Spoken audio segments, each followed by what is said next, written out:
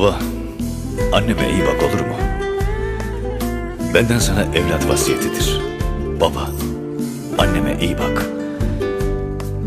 Akşam büyük bir heyecanla televizyon izlerken sen şöyle gözünün ucuyla bir kez anneme bak. Yaşanmışlıklarını göreceksin o çocuksu bakışlarında. Yaşattıklarını, yaşatamadıklarını. Sana adanmış koskocaman bir ömrü göreceksin bakışlarında. Akşamları geç geldiğinde boğazına dizilen yiyemediği lokmaları göreceksin. Sen kızmayasın diye uyurken komşulara gidişlerini, bizim ağzımızı kapatmalarını, yüreğinin ağzına geldiği zamanları göreceksin. Baba, anneme iyi bak. Hanım ben gidiyorum dediğinde sen merdivenleri inene kadar ardından bakan insana bir kez durup merdivenin beşinci basamağında sen de bak.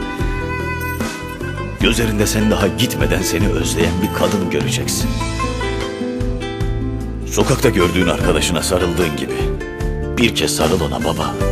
Sıkıca, sevgiyle.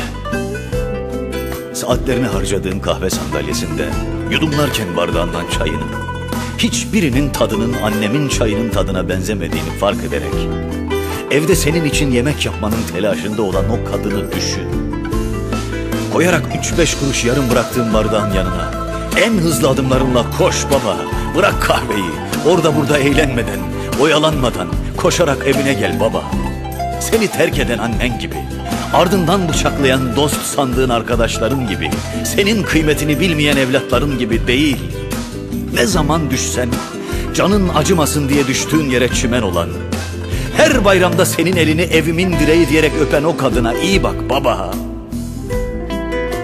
Ne kadar usulca çıksan da merdivenleri, senin geldiğini daha ilk basamakta anlayan kadına, yüzün asıksa, mutfağında sessizce ağlayan ama sana soğanın ne kadar acı olduğunu söyleyen kadına.